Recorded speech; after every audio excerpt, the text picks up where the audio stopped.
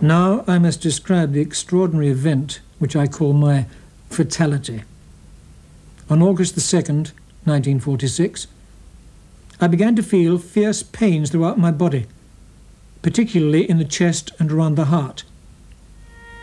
After trying for half an hour to find a doctor, a friend sent Dr. Lloyd Jones, our present house doctor, who then saved my life. He gave me an injection to reduce the pains. This immediately helped. But ten minutes later, I lost consciousness, and my heartbeat and pulse stopped. In other words, I was practically dead.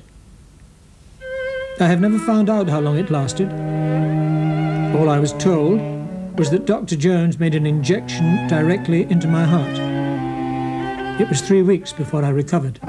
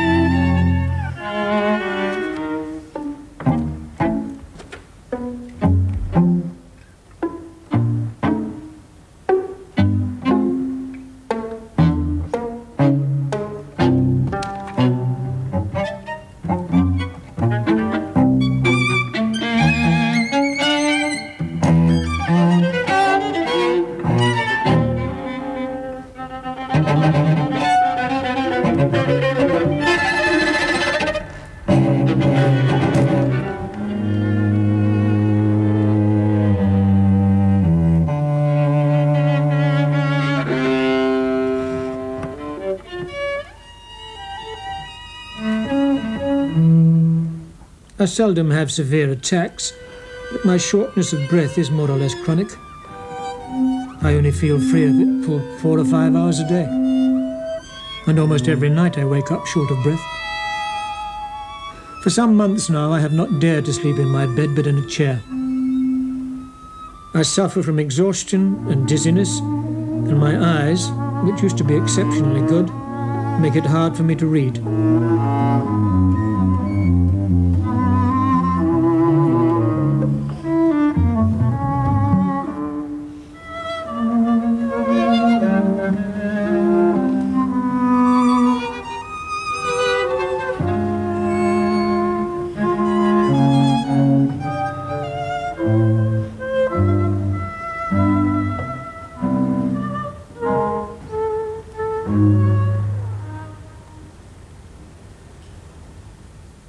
I do not attach so much importance to being a musical bogeyman as to being a natural continuer of properly understood good old tradition. What I do believe in, however, is the new. I believe it to be the good and the beautiful, toward which all the endeavours of our inmost being are directed as involuntarily and irresistibly as they are toward the future. Somewhere in our future there must be a splendid fulfillment, as yet hidden from us, for that is the constant hope behind all our endeavours. Perhaps this future is a higher evolutionary stage for our species, one where our longing, which today denies us peace, will find satisfaction. Perhaps it is simply death but perhaps it is also the certainty of a higher life after death. The future brings the new And perhaps for that reason we so often and so rightly find the new identical with the beautiful and the good.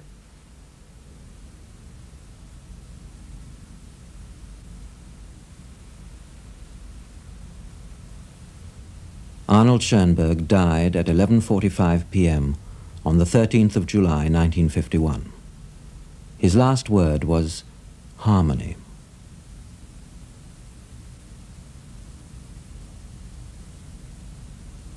And this is what some people said about him at the end of his life.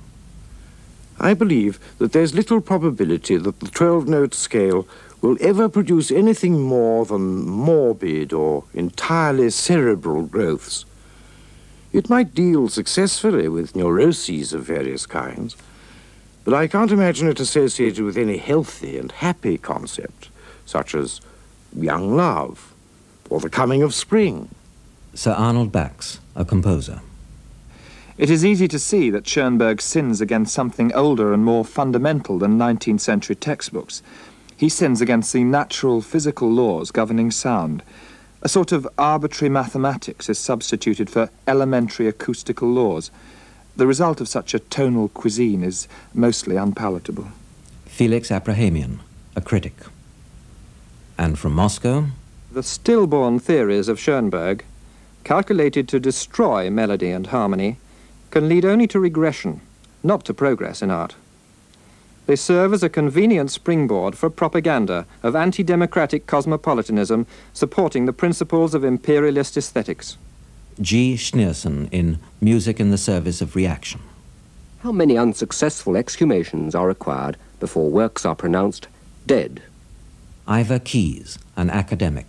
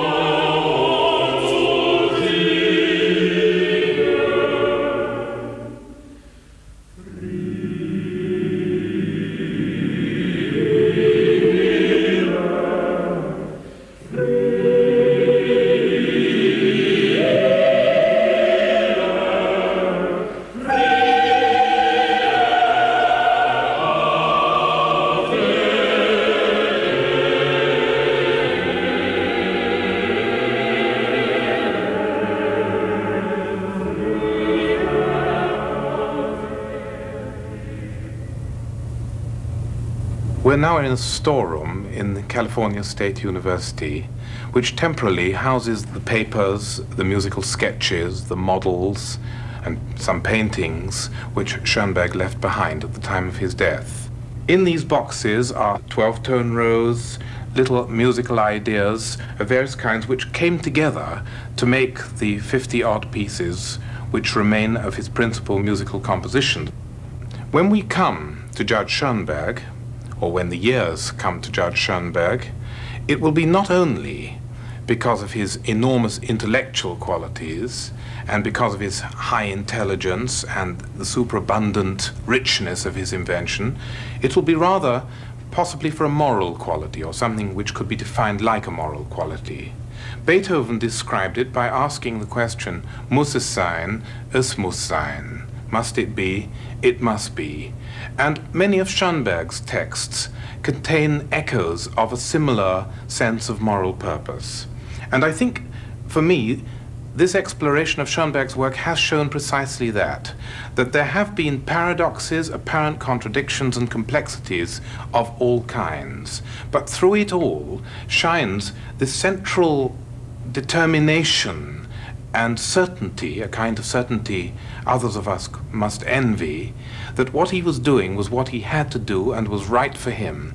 And I'm sure that uh, there are many ingredients to great music, but that is an essential one without which music cannot survive and remain and be judged to be great.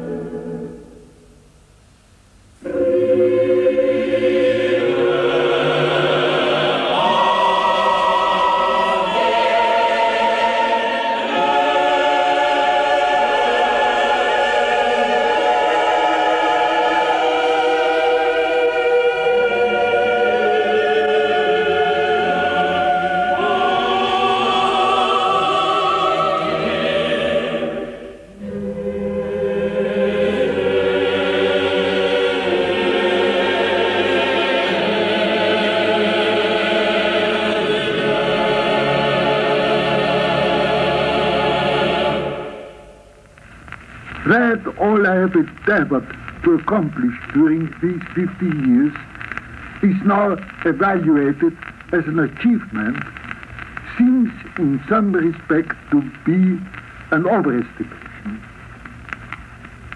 Personally, I have the feeling as if I had fallen into an ocean of boiling water and not knowing how to swim or to get out in another manner, I tried with my legs and arms as best as I could. I do not know what saved me, why I was not drowned or cooked alive. I have perhaps only one merit. I never gave up. But how could I give up in the middle of an ocean? There was nobody to help me, nor were there many who would not have liked to see me succumb. It might have been the desire to get rid of these nightmares, of these unharmonious torture, of these unintelligible ideas, of this methodical madness. Maybe I didn't care enough about such problems. Maybe I myself failed to understand their viewpoint, was not considerate enough, was rough when I should have been soft. But I have one excuse. I had fallen into an ocean, into an ocean of overheated water, and it burned not only my skin, it burned also internally. And I could not swim. At least I could not swim with the tide. All I could do was to swim against the tide, whether it saved me or not. I see that I was always in the right. And when you call it an achievement, so forgive me. I do not understand of what it might consist. That I never gave up. I could not. I would have liked to. Please do not call it false modesty if I say maybe something has been achieved, but it was not I who deserves the credit for that. The credit must be given to my opponents. They were the ones who really helped Thank you.